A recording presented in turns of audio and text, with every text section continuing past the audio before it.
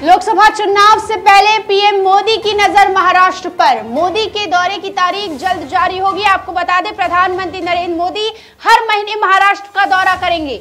लोकसभा चुनाव से पहले प्रधानमंत्री नरेंद्र मोदी के लक्ष्य पर सबसे बड़ा लक्ष्य सिर्फ़ और सिर्फ़ महाराष्ट्र है। पीएम मोदी महाराष्ट्र का दौरा कब से करेंगे, इसकी तारीखें भाजपा द्वारा जल्द ही जारी की जाएगी। लोकसभा चुनाव नज़दीक है, साथ ही मुंबई मनपा चुनाव भी किसी भी वक्त हो सकता है। इसको लेकर एक्शन में पीएम मोदी। सुनिए।